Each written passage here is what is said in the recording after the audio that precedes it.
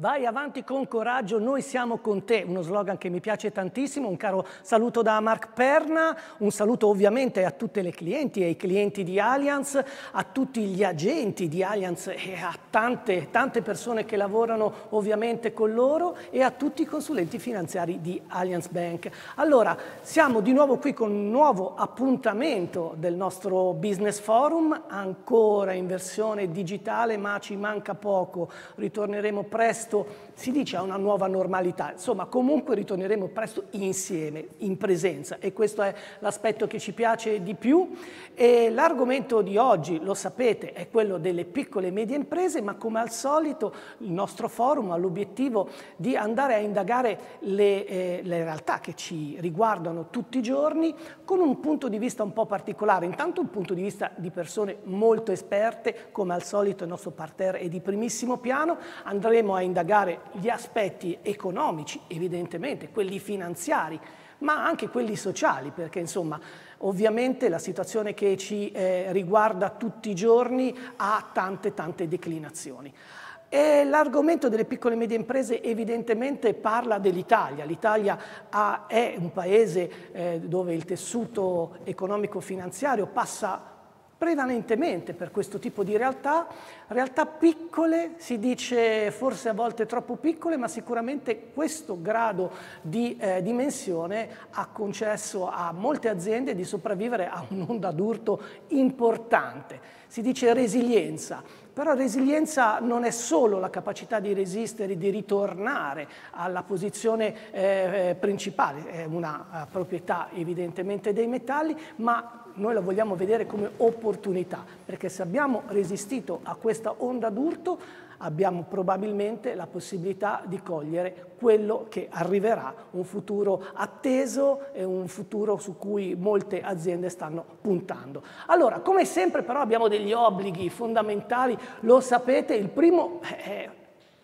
fondamentale numero uno, vale a dire l'iscrizione al nostro canale.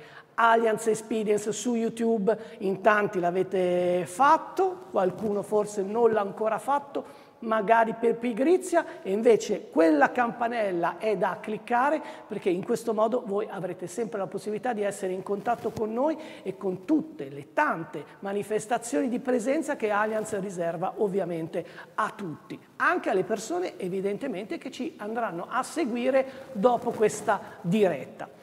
E poi, eh, perché lo dico sempre, questo non è un monologo, anche se sto parlando già da troppo tempo, eh, è fondamentale che partecipiate anche voi e ci fa molto piacere, quindi lo potete fare in qualsiasi momento come anche qua alzando la mano virtuale, facendoci sapere a chi volete indirizzare le vostre domande e ovviamente se volete dirci anche come vi chiamate e da dove venite, noi ovviamente siamo felici. Ma siccome il nostro argomento del Business Forum ha tante latitudini, quale miglior esperienza che vedere un video che vi dice tutto? Guardiamolo insieme.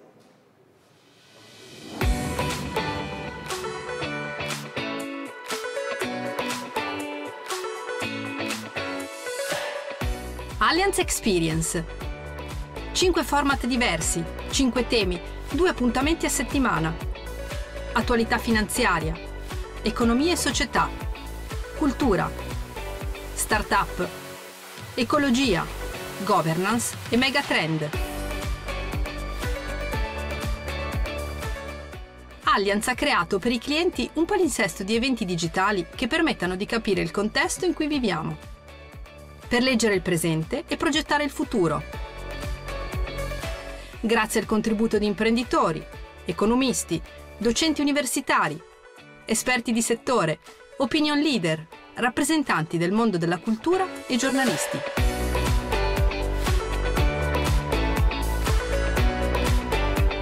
Basta un clic per alzare il sipario sul racconto di quello che ci accade intorno. L'obiettivo è riflettere, analizzare, approfondire, programmare strategie e accorciare le distanze, insieme.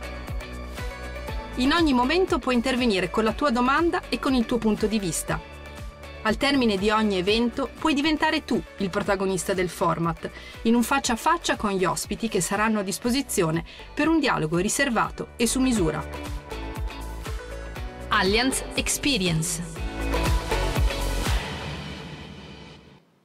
Cliccate la campanella, vi tengo d'occhio, attenzione. Allora, l'abbiamo detto, parterre di primissimo piano, ve li presento, anzi, si presenteranno da soli perché eh, le biografie di questi personaggi sono lunghe e complesse, loro hanno loro l'onere dell'esercizio di sintesi. La professoressa Marina Purcinelli e allora, eh, cosa possiamo dire di te? Cosa fai e cosa vedi dal tuo osservatorio? Ma sono... Buonasera a tutti e grazie per eh, avermi invitato stasera, grazie Mark in particolare. Mi occupo di piccole e medie imprese, eh, sia come, come, docente universitaria, sia come formatrice, quindi mi capita di avere in aula eh, gli studenti ai quali poi devo fare gli esami e mi capita di avere in aula invece imprenditori, in particolare imprenditori di piccole e medie imprese. Alla Bocconi? Sì, in Bocconi, eh, sì, Diciamo, sì. perché mica non è un'università qualsiasi. La Bocconi, la famosa Bocconi di Milano.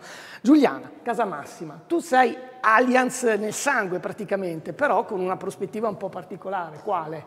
Sì, sono... buonasera a tutti, sono Giuliana Casamassima, attualmente responsabile dell'area tecnica Mid Corporate Riassicurazione ho, come dici, eh, Allianz nel sangue, nel senso che sono sempre stata nel settore assicurativo, eh, nella, nella, parte tecnica e attualmente mi occupo proprio della definizione eh, delle offerte, della sottoscrizione dei rischi per il mondo delle aziende intrigante. Poi capiremo bene cosa vuol dire calcolare il rischio delle piccole e medie imprese, ma diamo la parola al nostro ospite remoto, è presente con lo spirito e anche con, la, con lo spirito giusto del, di questo forum che è uno forum simpatico, diciamolo onestamente. Allora, Alessio Pagni, dici tutto di te, non iniziare sì. dalle scuole elementari però, grazie. No, no, no, no, no. Oggi, oggi, parto direttamente da, da, dal ruolo che ricopro ormai da sette anni. Sono Senior Sales Executive in Franklin Templeton, quindi società di investimenti e insomma sono veramente curioso anch'io di sentire che cosa ci racconteranno gli ospiti che sono veramente di altissimo livello e sono, ho, ho, pronto la, il quaderno con gli appunti, davvero. Sì, ma qualcosa ci dovrai dire anche tu, eh? non, non ti esimere da questo ruolo. Viviana Falcone, anche tu personaggio Allianz, anche tu con una signora esperienza, allora, dici qualcosa di te e cosa vedi ovviamente anche dalla tua latitudine. Assolutamente Mark, intanto grazie e ben trovato a tutti.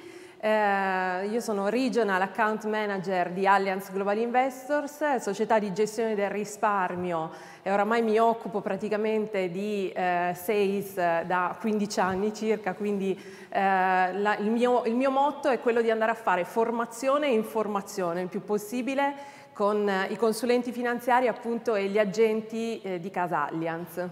Una cosa che ho imparato in questi forum è che le prendono veramente all'uscita da scuola, perché poi dicono, ah, 15 anni e sono tutti giovanissimi. Benissimo. Allora, Marina, iniziamo da te, perché stiamo entrando nel vivo di questo forum e la prima domanda giustamente è come hanno resistito le, eh, le piccole e medie imprese è in questo periodo difficile, perché qualcuna ce l'ha fatta, anzi qualcuna è andata anche molto bene. Perché, quali, insomma, chi sono quelle state brave, diciamo va bene, così? Va bene, rispondo volentieri a questa domanda. Innanzitutto Mark, con una precisazione, eh, si dice spesso che l'Italia è il paese delle piccole imprese, eh, direi anche qualcosa di più. Eh, abbiamo un modo un po' strano di fare economia in Italia, no? lo famo strano, come diceva... Certo eh, Verdone in uno dei suoi film più divertenti, nel senso che noi abbiamo proprio un, un modello di economia eh, particolare, originale, modello perché è, eh, vale per la stragrande maggioranza delle imprese, originale perché ce l'abbiamo solo noi eh, mi sento di dire al mondo. Ed è un modello eh, che si compone di quattro caratteristiche, non solo di una, quella più citata, cioè la piccola dimensione mhm. media eh, delle imprese, ma anche la proprietà familiare, una guida imprenditoriale e una fortissima vocazione manifatturiera. Queste quattro caratteristiche insieme ci rendono unici al mondo. Allora, ehm, eh, come dire, qui, qui il, il, il, mondo di quelli che fanno il mio mestiere si divide un po' in due, no? Quelli che eh, sono un po' dei, dei, detrattori di questo modello, che dicono che è un incidente di percorso, che è un vizio da correggere, che piccolo e brutto, familiare e nepotistico, eh, imprenditoriale sa un po' di shurpadrun e eh, manifatturiero sa di vecchia economia, di old economy, e chi invece come me è convinto che questo sia quello che abbiamo e che se perdiamo questo modello purtroppo non ci resta molto altro. E quindi eh, innanzitutto riconosciamo queste caratteristiche come un elemento differenziante, come un elemento peculiare che non sono da denigrare, anzi da valorizzare. Se siamo eh, no, un, paese eh, al, tra, tra, quelli del G20, se siamo comunque una delle potenze economiche non ai primissimi posti, ma insomma eh, nel, nel, nella, nella classifica di punta a livello mondiale di economia, lo siamo per le aziende fatte così, non per le grandi imprese managerializzate eh, di servizi eh, e, e, di grande dimensione. No? Eh, allora, quindi... ci, ci piacciamo così, ma poi capiremo che qualcosa in più probabilmente dovremmo fare. Eh, Giuliana, però per esempio tra le prime cose che dobbiamo cercare di capire è che insomma un, possiamo prevedere il futuro in un qualche modo, ma sapere che puntualmente accadranno delle cose è molto complicato. Questo è un po' il vostro mestiere, cioè quello del, degli assicuratori. Cosa dovrebbero fare eh, le piccole e medie imprese, ma diciamo tutti onestamente, ehm, per far sì che il futuro che ci attende non sia sempre del tutto imprevedibile? Ma è una bella domanda. Eh, sicuramente il mondo delle piccole e medie imprese non si contraddistingue ancora purtroppo in Italia per una penetrazione della gestione dei rischi, delle coperture assicurative eh, più evoluta rispetto anche ad altri paesi europei, nel senso tipo? che eh, Germania, ecco, Inghilterra. I soliti peraltro. I, i soliti, i soliti noti. Eh, sicuramente dei passi avanti sono stati fatti nel tempo e negli ultimi anni, però la penetrazione delle coperture assicurative sul mondo delle PMI è ancora molto bassa ed in particolare è ancora molto orientata sulle coperture di rischi tradizionali, la responsabilità civile, l'incendio, quindi eh, eh le polizze eh, che ha copertura proprio dei rischi eh, più tradizionali. Siamo siamo ancora molto indietro come penetrazione eh, sulla, nella cultura e quindi nella copertura di rischi un po' più complessi ma assolutamente importanti come per esempio la business interruption. Noi abbiamo eh, la business interruption e la copertura assicurativa eh, che copre l'azienda dal rischio di perdite economiche derivanti dall'interruzione delle attività. Ecco, questa copertura che mh, si, si, intuisce, si capisce essere assolutamente importante per la continuità di impresa, per salvaguardare la propria impresa, eh, e in realtà eh, ha una penetrazione bassissima nel nostro paese, in particolare sulle piccole e medie imprese. Ovviamente sulle aziende più grandi il quadro è un po' diverso, nel senso che eh, c'è una cultura ed una quindi penetrazione delle coperture assicurative decisamente diversa, molto più alta e molto più allineata a e paesi lo, Lo spiegheremo bene nel corso di questa, di questa serata, di questo forum. Alessio, passo la palla a te perché diciamo che tu hai un punto di vista un po' particolare. Intanto l'orizzonte geografico si sposta eh, a ad ovest rispetto all'Italia, eh, parliamo di Stati Uniti, eh, esistono, e, e, questo sottolineiamo, eh, le small cap, diciamo come si dice in gergo, ma le piccole e medie imprese esistono anche negli Stati Uniti. Come hanno reagito a questo periodo di, eh, di pandemia e come vedi il mercato se ci sono già qualche interessante segnale di ripresa?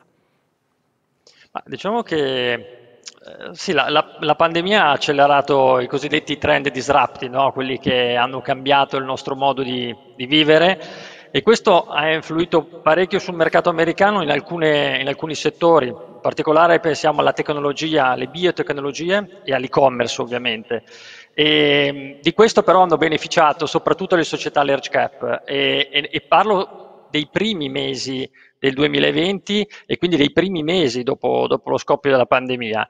Eh, le small cap hanno una costruzione, o meglio, hanno delle caratteristiche ben definite, quindi hanno un, um, un, livello di debito che normalmente in proporzione è più alto rispetto ai dati della loro liquidità e dei ricavi e quindi hanno bisogno veramente di un contesto sano di benessere dell'economia per potersi sviluppare e soprattutto di un'economia interna perché sono legati alla, alla domanda domestica. Ecco perché all'inizio dell'anno quindi hanno faticato nel 2020 e poi piano piano più i dati economici si sono rafforzati più queste, più, diciamo, queste società sono state in grado di superare questa fase difficile e oggi stanno veramente correndo alla velocità doppia rispetto alle large cap. Eh, diciamo che poi anche quello che eh, saranno le iniziative del congresso, della nuova amministrazione, potranno dare un'ulteriore spinta a, a questo mercato. Pensiamo soltanto alle iniziative sulla, eh, per la tecnologia, la rete 5G, eh, le energie rinnovabili, le nuove infrastrutture. Ci aspettiamo che questi stimoli così mirati possano davvero eh, essere un beneficio, soprattutto per le small cap, ancora più delle large cap, perché pensiamo soltanto agli incentivi fiscali mirati eh, che dovrebbero comprare prendere anche il credito d'imposta per l'acquisto dell'auto o del, della casa, che sono due mercati fondamentali per l'economia americana. Insomma, eh, c'è, un buon percorso, sono partite bene e ad oggi è difficile prevedere un contesto di recessione e un contesto di Federal, Federal Reserve, quindi più eh, chiusa, eh, che sono le due, diciamo, sarebbe eh, l'abbinamento che comporterebbe una situazione critica per le small cap, ma in questo momento veramente noi non vediamo, eh, non, non, pensiamo sia probabile questo, questo binomio. Ecco. E noi prendiamo il rimbalzo di questa positività che arriva anche da oltreoceano. Viviana, stava eh, dicendo giustamente Alessio che in un qualche modo c'è stato un effetto Biden. Allora ti chiedo, ma c'è, c'è stato, vedete, anche un effetto Draghi?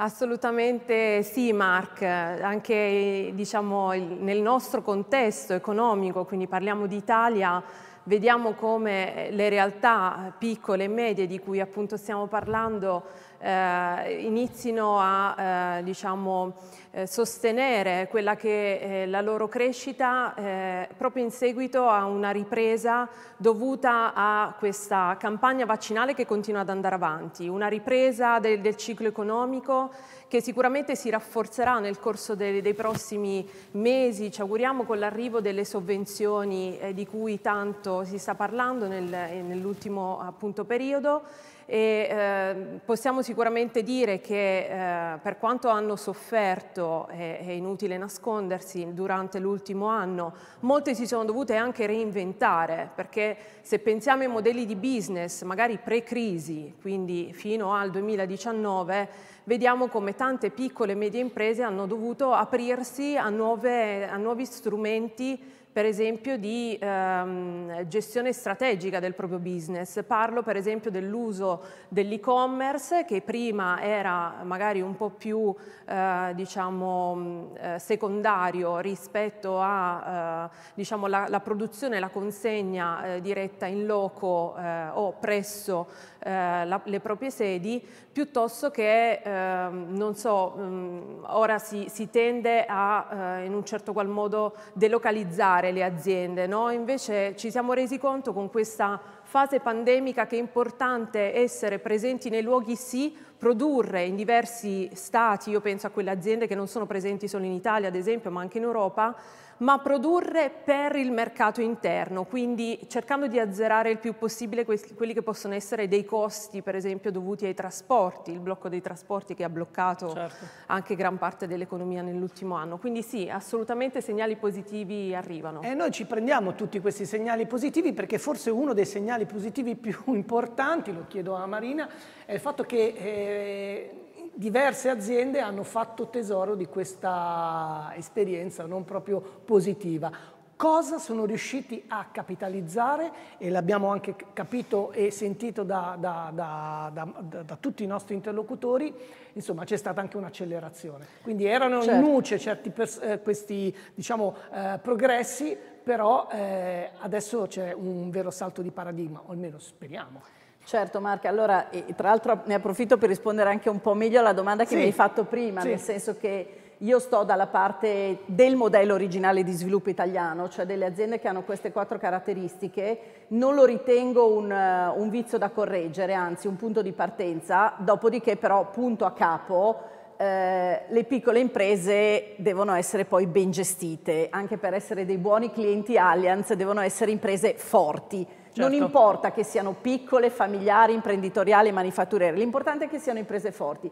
Nella pandemia le aziende che stanno dando il meglio, che stanno crescendo veramente a, a doppia cifra, nonostante tutto, anche in settori non necessariamente favoriti dalla pandemia, non sto parlando di imprese impegnate nel farmaceutico per capirci o, o nel tempo libero, ehm, sono aziende che hanno le caratteristiche dell'impresa forte, così come proprio la persona. No? Abbiamo visto nella pandemia purtroppo eh, le persone che hanno pagato di più erano persone anziane con qualche eh, patologia seria, eh, le persone in buona salute hanno attraversato un, no, meglio, mediamente parlando, questo periodo così difficile. Allora, quali sono le caratteristiche delle piccole imprese forti? Mm, Mark, ne cito due, poi sì. magari approfondiamo certo. con, con, un altro giro di, di domande.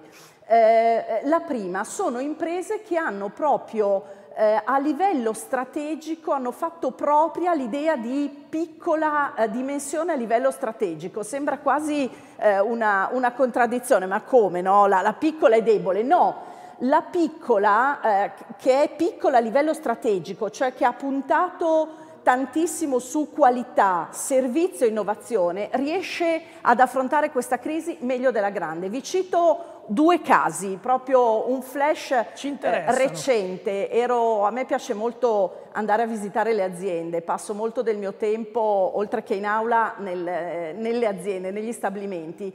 Ho fatto un giro di recente eh, in aziende che fanno parte di un settore veramente eh, old fashion, le tintorie un settore che eh, in Italia è stato spazzato via già negli anni 2000 dal, dai processi di delocalizzazione, quindi ne sono rimaste veramente poche. Ne ho visitate in particolare due, una eh, molto grande che ha basato la sua strategia sulla grande dimensione, pur, pur non essendo no, la, la, Fiat intendo dire, però ha basato la sua strategia sui volumi, sui chilometri e chilometri di eh, tessuto da tingere, eh, sulle economie di scala, eh, era considerata in quel settore un gigante di ferro, aveva resistito alla delocalizzazione e quindi era forte. Eh, l'altra eh, è invece una piccolissima impresa, eh, nata una decina d'anni fa, eh, che vive di piccolissimi lotti, pochi metri di tessuto tinto per gli stilisti e per gli uffici stili delle maison del lusso internazionali più importanti del mondo. Eh, vive di risposte veloci, eh, di prove ed errori, sembra quasi la, la, fucina di un alchimista. Chi ha più chance, chi ho sentito meno preoccupato in tempi di Covid, chi ho sentito più speranzoso, eh, avere un futuro davanti enorme da cavalcare? Quello piccolo, il laboratorio dell'alchimista piuttosto che il gigante eh, di ferro che è costretto a imparare a danzare in questo periodo e fa ovviamente fatica.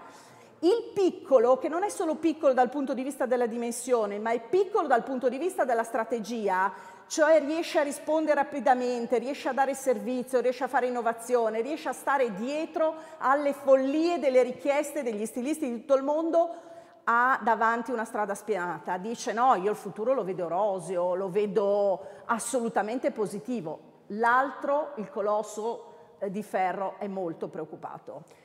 E questi sono segnali importanti. Eh, Giuliana, eh, torniamo sul fatto che però eh, quando si interrompe il business da qualche parte, eh, piccola o grande che sia l'impresa, a maggior ragione, se è molto grande, ma lì sono protetti. Ecco, quando si scala e si scende un pochettino più in basso, eh, si ferma tutto. Quindi come si può dare una risposta che non spaventi? Come si può pensare che un asset del business delle aziende può essere l'assicurazione? Forme di assicurazione dedicate a questa modalità?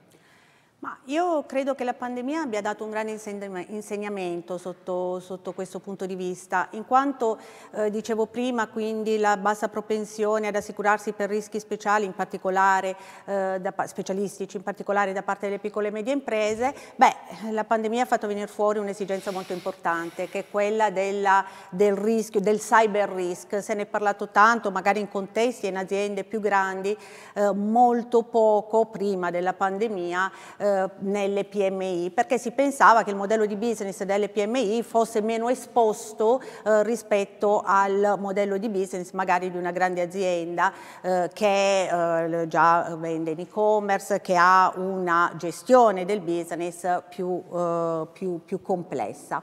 Bene, la pandemia ci ha insegnato una cosa importante, eh, la, il cambiamento della modalità di vita, lo, lo, lo smart working, lavorare da casa, eccetera, ha messo ha portato alla luce il fatto che c'è un rischio importante che le piccole e medie imprese in particolare hanno corso e stanno correndo in questo periodo ed è proprio la protezione dei propri asset, dove eh, asset in questo, in, questo, in questo, momento, in questo contesto, mi riferisco agli asset tecnologici. Certo. Eh, lo smart working ha reso molto vulnerabile l'ultima parte della catena eh, del, del, del, del, lavoro e dell'assetto informatico, e cioè il computer del dipendente che lavorando da casa ha esposto l'azienda a rischi sicuramente superiori rispetto a quelli che l'azienda correva quando eravamo tutti in ufficio e lavoravamo con i PC del,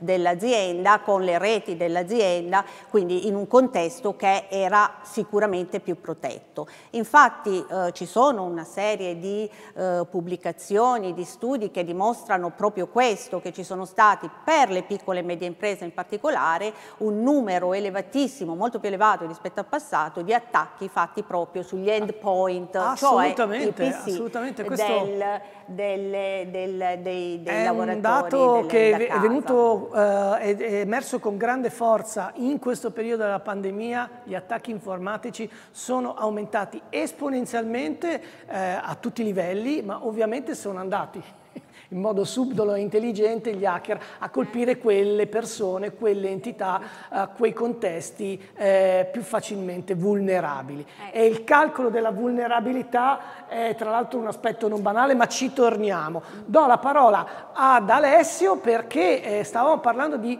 aziende virtuose, piccole e medie aziende virtuose. Dal tuo osservatorio sul mercato americano, hai visto qualcosa che può essere magari anche interessante per noi, come stimolo, come riferimento, come elementi di benchmark? Bello questo termine, elementi di benchmark. Ma, guarda, sì, i nostri gestori hanno usato un termine che mi piace molto e che un po' eh, riflette anche quello che diceva prima la professoressa, nel senso che la pandemia ha avuto un effetto darwiniano, così l'hanno definito, quindi la capacità di adattarsi all'evoluzione del sistema, no? quindi per fronteggiare la pandemia sono diventati più efficienti e efficaci nella loro esecuzione molti di queste aziende. Eh, quindi devo dire che sono state identificate in realtà nel mondo delle small cap due, due, tipologie di aziende che meglio si sono adattate e meglio si sono comportate. Le prime sono quelle che hanno potenziato o migliorato eh, la loro tecnologia esistente, ma che soprattutto hanno svolto un servizio anche di, eh, di supporto e aiuto per quelle aziende che dovevano innovarsi o automatizzarsi, diciamo, diciamo questo.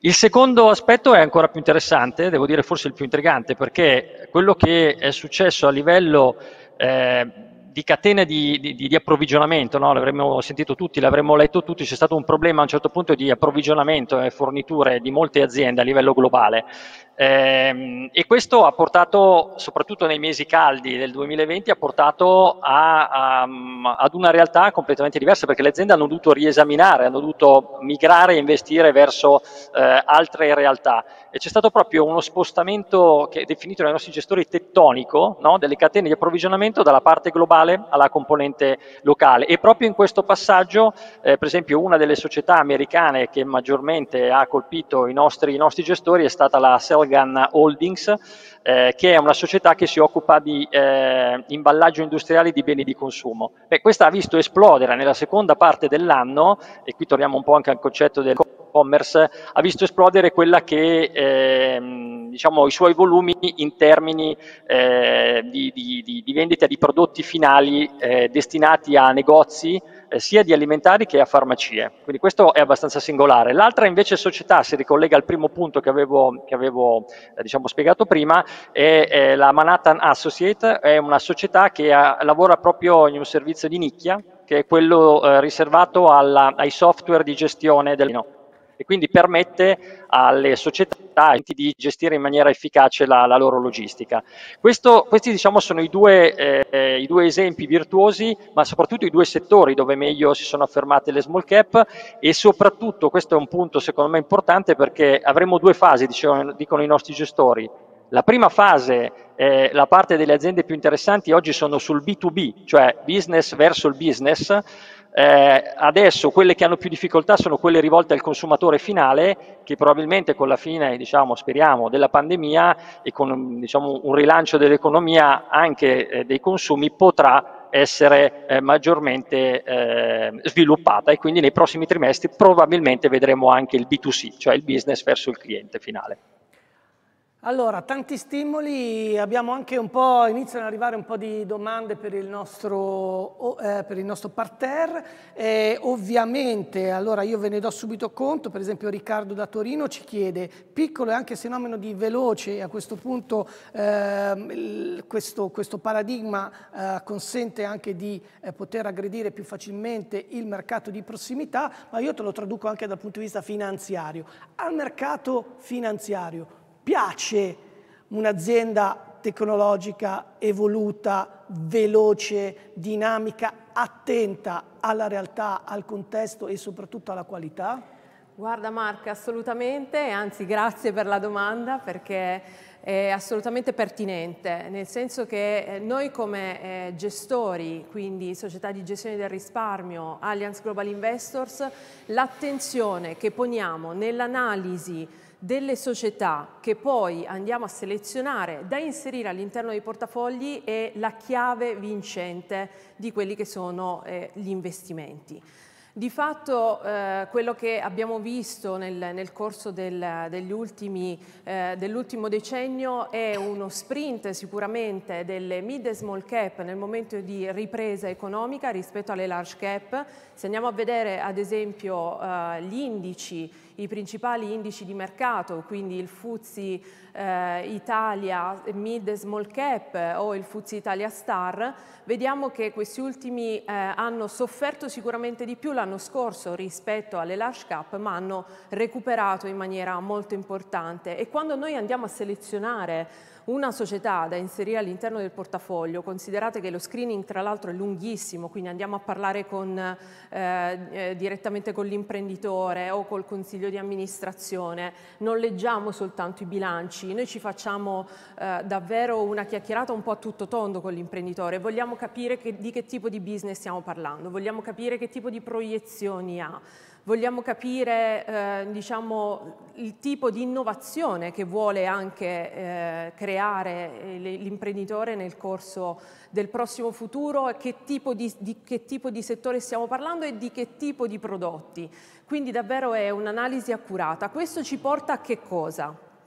Questo ci porta a credere realmente poi alla fine nell'azienda piccola o, o, di media dimensione di cui stiamo parlando, su cui investiamo, ma come investitore principale, come se l'azienda fosse nostra di fatto. Noi non siamo trader per natura, noi siamo investitori di medio-lungo periodo, quindi noi crediamo nei progetti delle aziende, sposiamo quelle aziende e le portiamo all'interno no dei nostri portafogli, li accompagniamo, diciamo così, eh, quasi come soci all'interno dei nostri portafogli e questo è un po' il motto anche dell'investimento azionario che Allianz Global Investors fa da sempre.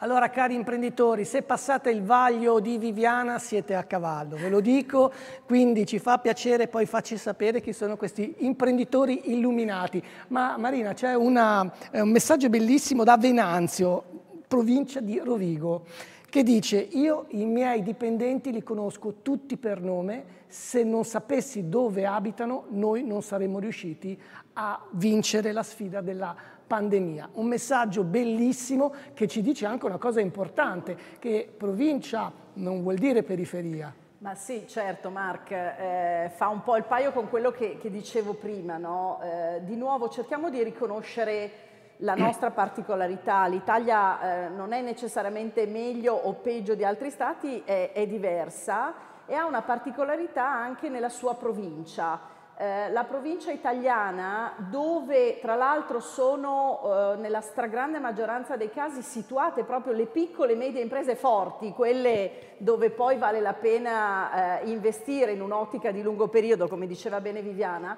eh, sono aziende eh, di provincia e la nostra provincia non è periferia, anzi ha una ricchezza eh, economica, culturale, eh, sociale, di capitale sociale enorme che altri stati iniziano a invidiarci perché in altri stati sono costretti a insegnarlo all'università cos'è il capitale sociale. Noi per fortuna a Rovigo nelle parole di questo imprenditore ce l'abbiamo, nelle parole di un imprenditore che imposta la sua gestione del personale come rapporto diretto con le persone, conoscendole nome per, per nome.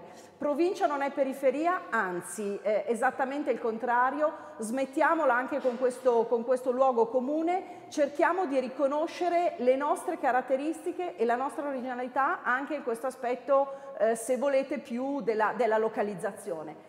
Poi nulla in contrario a Milano, eh. questa sera siamo a Milano, siamo all'interno di un contesto ovviamente di, eh, di, grande impresa, finanziarizzata, managerializzata, ma è interessantissimo il binomio però, è interessantissimo che no, ogni, la, la provincia eh, e l'imprenditore di Rovigo con i piedi ben piantati a Rovigo, che conosce nome eh, per nome i suoi operai, poi abbia le antenne in avanti e possa essere cittadino del mondo e possa venire a Milano in fiera, possa venire a Milano a fare formazione, possa venire a Milano a confrontarsi con i signori di Allianz.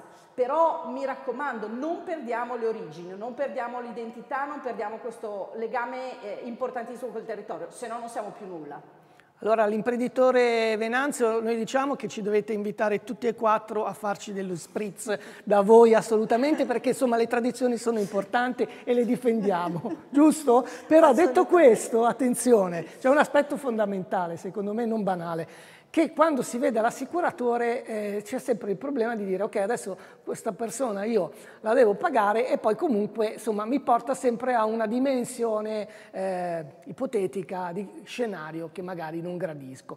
Come possiamo scardinare intanto questa idea, ma soprattutto come possiamo far convincere chi ci sta seguendo che eh, l'assicuratore è un partner del business delle aziende? L'assicuratore è un partner, eh, oggi più, più, che mai è un partner. Quando noi ci approcciamo con i nostri clienti e in particolare con le piccole e medie imprese che probabilmente hanno più bisogno di essere supportate nell'analisi dei rischi, eh, nell'analisi nell eh, delle loro esigenze assicurative, eh, sicuramente ci poniamo in un'ottica di partnership perché il punto importante qual è? Cercare di creare all'interno dell'azienda consapevolezza dei rischi che l'azienda sta correndo. Questo è il primo passaggio importante e in questo noi come assicuratori, quando ci poniamo di fronte all'azienda per valutare insieme i rischi, il primo passaggio, il primo punto, la prima finalità è questa, creare consapevolezza. Stiamo parlando nei vari interventi, le aziende che ce l'hanno fatta, le aziende che ce la possono fare, per me le aziende che ce la possono fare e che ce la fanno sono le aziende che prima di tutto acquisiscono e hanno consapevolezza dei rischi che corrono, delle esigenze, delle loro esigenze e quali possono essere quindi una volta che si è consapevoli delle proprie debolezze, quali possono essere le misure da mettere in campo per poter eh, mitigare i rischi e per poter quindi creare quei prerequisiti importanti per la continuità di impresa, per uno sviluppo sostenibile dell'azienda stessa. La consapevolezza e il supporto che la compagnia di assicurazione può dare in questo senso, in questa direzione, secondo me è importantissimo. Dopo aver fatto questo, aver studiato insieme eh, i, i, rischi e la mitigazione degli stessi, il passaggio, il trasferimento del rischio residuo è, diventa soltanto l'ultimo passaggio no, della, di questo processo, che è un processo, torno a dire, di partnership e di eh, lavorare insieme eh, perché, eh, per creare quei presupposti eh, necessari anche nella gestione dei rischi, necessari all'azienda per, eh, per creare proprio un substrato importante, necessario eh, per eh, poter poi pensare allo sviluppo e agli investimenti. Importantissimo in questo senso, per esempio, ritornando al discorso del cyber risk, è entrare nell'ottica che quando faccio un investimento per un'infrastruttura informatica, per un'implementazione informatica, devo pensare accanto ad investire proporzionalmente qualcosa per rendere sicura quell'implementazione, quell'infrastruttura. Questo per esempio è un passaggio logico importante eh, che, che, che, crea cultura, cultura della gestione dei rischi e ripeto in quel processo di consapevolezza e mitigazione dei rischi stessi che è assolutamente istruzioni. Istruzioni all'uso, eh, ne stiamo dando veramente parecchi. Allora qui il Triveneto si, fa, si sta facendo sentire molto forte Alessio, c'è una domanda per te da Vanessa da Venezia, ecco, senza gondoletta, però insomma ti chiede questa cosa importante. Adesso c'è questo aspetto positivo, c'è un rimbalzo evidentemente eh, dell'economia internazionale, mondiale, ovviamente sta trainando, sta correndo forte anche gli Stati Uniti e ci chiede se i progetti finanziari di, di recovery eh, dell'amministrazione Biden possono ulteriormente accelerare, e lei ci chiede anche quanto, eh, questa ripresa e soprattutto se queste, eh, questi meccanismi di, eh, di recovery possono diventare strutturali anche negli Stati Uniti. Ma allora, dare, dire che risultati potranno dare è un po' difficile, nel senso che eh, sicuramente tutto quello che, che stanno mettendo in piedi, ehm, le nuove iniziative del Congresso, quello che dicevamo, eh, fondate sulla rete 5G, sulle, sulle energie rinnovabili e sulle infrastrutture, sono tutti punti di partenza che devono essere ancora messi a terra, questo è il punto di partenza. Quindi ehm, sicuramente il fatto che ci, sarà una, ci potrà essere un aumento della spesa del governo federale insieme a una Federal Reserve molto accomodante sono due elementi che ancora una volta ribadisco eh, disegnano il contesto migliore per, per, per, le aziende in generale ma particolarmente per le small cap che quel, creano quel contesto economico ottimale per, per muoversi. Eh, se ricordo bene se saranno diciamo persistenti sicuramente eh, i temi che stanno per, diciamo, che la politica fiscale vuole mettere in piedi, quindi io mi riferisco soprattutto a quello della rete 5G, alle energie rinnovabili, e a quello delle infrastrutture sono tematiche che assolutamente hanno, in ottica sempre, come dicevamo prima, di lungo periodo, hanno davvero un, um, garantiscono almeno dei progetti che avranno dai 20 ai 30 anni di sviluppo. Eh, pensiamo per esempio alle energie rinnovabili, l'America pensa di arrivare alle emissioni a zero entro il 2050, la Cina entro il 2060, Cina che fino a ottobre del 2020 non era assolutamente legata a queste dinamiche eh, sono delle, ehm, questi, queste politiche fiscali che, che, ripeto ancora dovranno essere messe a terra e bisognerà vedere poi come verranno, hanno però tutte quelle caratteristiche se, che servono per garantire una crescita nel lungo periodo e danno sicuramente un orientamento ben definito.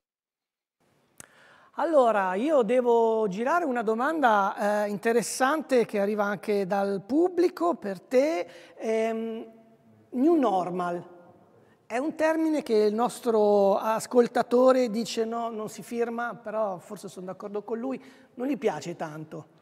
Eh, preferisce evoluzione della normalità, che vuol dire che ogni giorno noi ci adattiamo. Ecco, la capacità di adattarsi alla contingenza non è forte perché siamo stati in pandemia, dovrebbe continuare a diventare dite, un elemento distintivo delle aziende, anche della vostra quando si pensa agli investimenti. È così? Assolutamente. E, e guarda Mark, eh, l'innovazione è fondamentale, eh, la pandemia ha soltanto accelerato un processo che era già in atto, già in corso.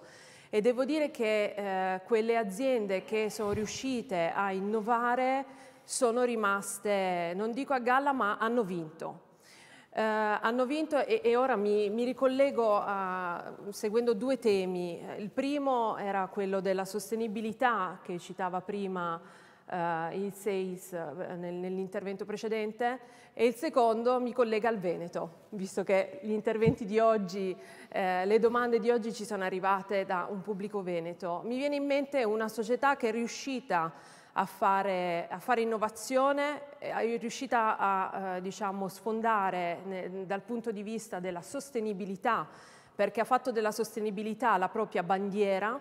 E sto parlando di eh, Zignago Vetro, che è un'azienda eh, veneta appunto che nasce negli anni 50 è un'azienda a nostro avviso molto solida che nel corso degli anni eh, si è affermata come leader sul mercato, non soltanto italiano, eh, nella produzione di eh, contenitori di vetro destinati eh, a due tipi di business. Il primo è quello del food and beverage, quindi eh, diciamo eh, bevande e alimenti, e il secondo è quello della cosmetica e della profumeria. Ecco, Zignago nel corso del tempo cosa ha fatto? Oltre a non utilizzare più soltanto materia prima per produrre il vetro, ha acquisito una società per, che, poi, che, è stata utilizzata per riciclare il vetro e produrre del nuovo materiale. Vi faccio l'esempio di, di, questa società perché ehm, diciamo, ha vinto dal punto di vista della sostenibilità cercando di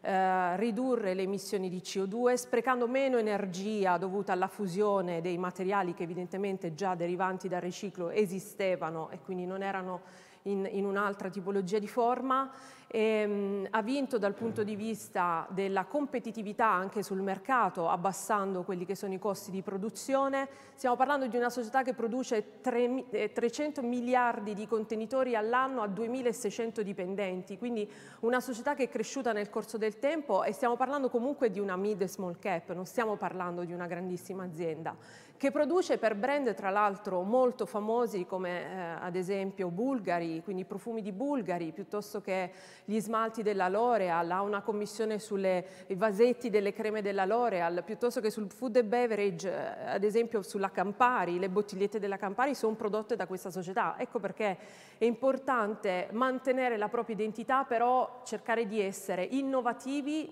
migliorando i processi di produzione, migliorando i costi e cercando di essere quanto più sostenibili possibili. Questo sicuramente è un insegnamento che le piccole e medie imprese ci hanno regalato nell'ultimo anno e, e ci continueranno allora, a regalare. Stiamo proprio capendo anche con casi reali che questo è il grande asset che ha l'Italia. Imprenditori magari un po' all'antica, però innamorati del loro mestiere, romanticamente, tenaci e capaci di guardare anche al futuro. Eh, abbiamo un po' di domande, eh, Marina, anche per te. Adesso la leggo. Volentieri, volentieri, mi diverte questa eh, possibilità di dialogare allora, col pubblico. Federico da Novara ci dice che in effetti è preoccupato per gli attacchi eh, informatici e ci dice come ci possiamo difendere. Qui c'è un tema sotterraneo che è passato lungo eh, tutte queste risposte, c'è un tema importante di cultura e formazione perché se non si percepiscono i rischi, se non si investe in nuove tecnologie che però devono essere poi calate nel contesto aziendale, se non si fa la formazione delle persone che insieme devono crescere con l'azienda, c'è qualcosa che non funziona. Quindi una delle risposte, non è tutta, ma una delle risposte è la formazione. Certo, Marche, e anche da questo punto di vista spero davvero per, di non passare per una ingenua ottimista, ma anche da questo punto di vista questo periodo diciamo di pandemia e mi auguro di post pandemia perché insomma mi sembra di vedere una certa reattività ormai in giro per l'Italia eh, in termini di formazione ha rappresentato un periodo di, di rinascimento. Ehm, davvero di nuovo le imprese più avanti, ecco, non, non quelle agonizzanti che erano già agonizzanti pre-Covid, mi raccomando, o quelle che io chiamo avventure personali più che imprese, cioè aziende nate in modo assolutamente improvvisato che non avevano spazio prima sul mercato e che il Covid ha segnato per sempre. Ma le imprese forti, le piccole imprese forti hanno capito eh, molto rapidamente che questo era un periodo ideale per andare in aula, per andare a scuola, per confrontarsi, per mettersi un po' in discussione, eh, anche grazie queste, alle modalità come quella di stasera che stiamo sperimentando, per cui eh, l'imprenditore di Rovigo o di Venezia può seguirci tranquillamente da casa. È un periodo eh, davvero di, di, grandissima espansione della formazione eh, a distanza, ma non solo, siamo tornati in aula purché però poi non li si prenda in giro in queste aule di formazione, cioè purché poi in queste aule non li si guardi come eh, brutti, sporchi e cattivi, come eh, appunto incidenti di percorso, come soggetti che vanno corretti sempre a 360 gradi. Riconosciamoli anche in aula di formazione o riconosciamoli come clienti di una grande compagnia assicurazione anzitutto per la loro positività, anzitutto diciamo loro siete la parte migliore del paese, poi punto a capo, poi avete bisogno dei nostri servizi assicurativi, poi avete bisogno di una formazione manageriale che vi manca, però partiamo dal riconoscimento della loro positività e anche allora in termini di formazione apprezzeranno, vi seguiranno, hanno voglia di mettersi in discussione, le imprese più forti si confrontano sistematicamente con chi è più avanti, sia in aula di formazione sia quando scelgono dei partner assicurativi e partner insomma in generale, adesso dico assicurativi perché Assolutamente. Vostra, allora eh, Giuliano, ovviamente tante domande stanno arrivando anche per te, eh, da Lecco eh, che giustamente ci chiedono eh, intanto vabbè, ovviamente per rispondere a come si riesce a gestire un attacco informatico, intanto ci si protegge proprio a monte con una bella assicurazione, ma poi, ma poi ehm, perché scegliere Allianz a questo punto? No, è fondamentale, io ritorno un attimo sul tema della formazione, mm. la formazione è fondamentale all'interno dell'azienda, in particolare proprio per la, la gestione di alcuni rischi, cyber, la cosa più importante che è mancata e quella che ha fatto più danni alle piccole e medie imprese o alle imprese anche più grandi è stata proprio la mancanza di formazione capillare da parte delle, dei dipendenti, dei, dei, dei lavoratori all'interno delle aziende su quelli che sono su quelli che so, erano i rischi, su quelli che sono, erano i rischi informatici, gli attacchi, come, poteva, come posso riconoscere io che sono a casa, sto lavorando da casa con il mio PC, sto facendo smart working, come faccio a riconoscere che c'è un attacco in atto sul mio PC? Questo è stato il problema che ha creato maggiori danni in questo periodo di pandemia proprio perché si è arrivati impreparati, culturalmente impreparati ad affrontare tematiche di questo genere. Quindi il tema della formazione è fondamentale uno dei, prob dei, problemi, le statistiche ci dicono che uno dei principali problemi è stato quello del phishing. Il phishing è un attacco che arriva sul PC eh, del dipendente, una mail eh, con indirizzi eh, non, non, non, chiari, quindi una, una situazione di pericolo che, che, arriva sotto forma di una roba normalissima che può essere una mail, ma che non viene riconosciuta. Certo. Quindi la formazione la pandemia ci ha insegnato che in particolare per alcune situazioni e per alcuni rischi la, la, la formazione è un elemento imprescindibile, tanto quanto l'investimento in, uh, in strumenti, in tool, in implementazioni informatiche. Quindi vanno di pari passo. Quando parlavo di consapevolezza, la consapevolezza va in due direzioni, l'investimento in senso stretto, in tecnologie, in, in, in, in tool, in sistemi di protezione, ma anche e soprattutto la formazione. La formazione Giuliana, possiamo vedere l'assicuratore a questo punto eh, anche come un consulente? Assolutamente. Eh, il, il, secondo me nella gestione di alcuni rischi, il cyber, i rischi ambientali, eh, i, i, player, i principali player del mondo assicurativo devono, possono giocare un ruolo importante nel creare un, un, un, un sistema, una, la possibilità proprio di creare cultura su alcuni argomenti. Questo è un ruolo importante che le compagnie di assicurazione devono portarsi a casa e devono eh, investire in questo. Il momento in cui si incontra l'azienda e quindi il potenziale cliente deve avvenire in un momento in cui il contesto deve essere chiaro per l'azienda stessa, per la piccola e media impresa, eh, in generale, insomma, poi stiamo parlando di imprese, di aziende, però c'è anche tutto il mondo del retail, del cliente persona fisica, della persona fisica che anche da un punto di vista di cyber, eccetera, ovviamente sappiamo essere eh, anche lui molto esposto. Per cui è un macrosistema, bisogna creare un macrosistema e il ruolo compagnia delle compagnie di assicurazione e dei player del settore assicurativo è anche quello di eh, dare il proprio contributo nel creare appunto consapevolezza e cultura. Molto vero, molto giusto. Domanda rapidissima perché poi chiudo con due consigli per gli acquisti, no sto scherzando, eh, con i nostri consulenti finanziari. Eh, Marina, eh, pensando al futuro delle nostre aziende dobbiamo anche pensare a un nuovo welfare. Eh, beh sì, insomma, eh, se riuscissimo a migliorare anche da questo punto di vista male non faremo, ma più a livello di sistema, devo dire eh, che anche su questo tema le piccole imprese non, non, sono per nulla indietro. Io vedo azioni di welfare, azioni di, si direbbe no, all'anglosassone, eh, corporate social responsibility incredibili nelle piccole imprese, proprio per questa eh, vicinanza che hanno nei confronti dei collaboratori, delle loro famiglie, del territorio eh, a, cui, a cui appartengono e questo si salda anche al tema della sostenibilità, nel senso che proprio perché gli imprenditori vivono eh, in, in, piccoli comuni nella provincia italiana, i loro collaboratori eh, vengono, provengono da quei, da quei comuni, c'è l'interesse a tutelarli in termini di famiglie, c'è l'interesse anche a tutelare eh, l'ambiente, proprio il territorio in cui vivono. Quindi anche da questo punto di vista eh, sono molto più avanti di quanto eh, normalmente non li si giudichi e anche da questo punto di vista dobbiamo far venire un po' meno certi luoghi comuni perché ci sono esempi Noi oggi abbiamo di... combattuto i luoghi comuni, abbiamo scoperto ancora una volta se ce ne fosse stato bisogno che l'Italia è un paese tosto, e siamo più avanti di quello che si può immaginare. Però proprio questo spirito positivo lo voglio eh, consolidare con due domande telegrafiche, anzi con la stessa domanda ma due risposte telegrafiche con Alessio. Alessio, il futuro che ci attende, come lo vedi? Ce la facciamo? Ce la stiamo facendo?